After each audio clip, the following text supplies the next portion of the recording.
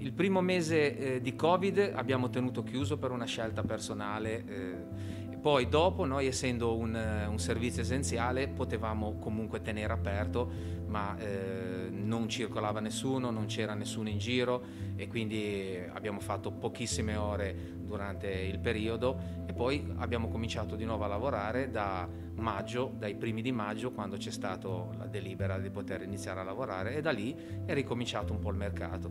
Non ho mai venduto come quest'anno tanti scooter a pochi soldi. La vendita del, dello scooter nuovo è calato drasticamente. Eh, si vende scooter da pochi euro, gente riparano quello che hanno, eh, insomma sono tutti molto contratti nelle loro scelte. Mi ritengo tra quelli un po' fortunati. La gente si deve sempre comunque spostare e bene o male o lo scooter vecchio o lo scooter nuovo comunque hanno bisogno di un mezzo.